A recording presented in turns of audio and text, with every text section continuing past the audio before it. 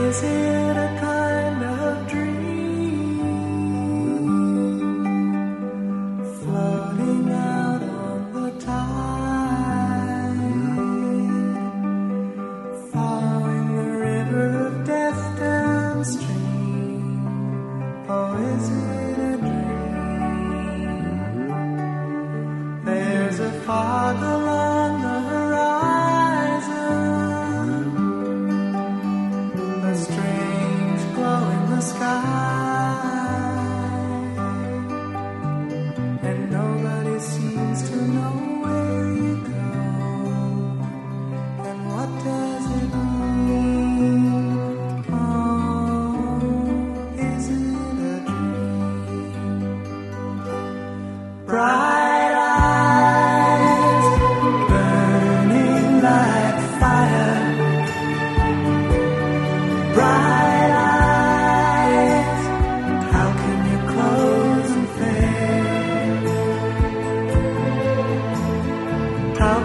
light that burns so brightly, suddenly burns so pale.